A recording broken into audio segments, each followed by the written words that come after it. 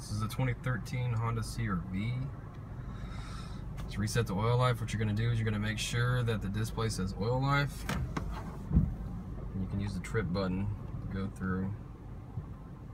Put on oil life, okay? So gonna turn the car off, turn it back on, start it. You're gonna press the trip button, hold it down.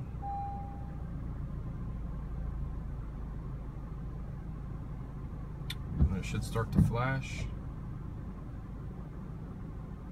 Okay, then you can let go. You can press it again.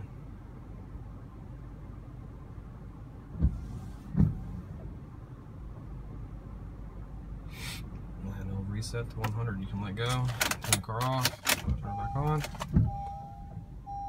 and it is reset.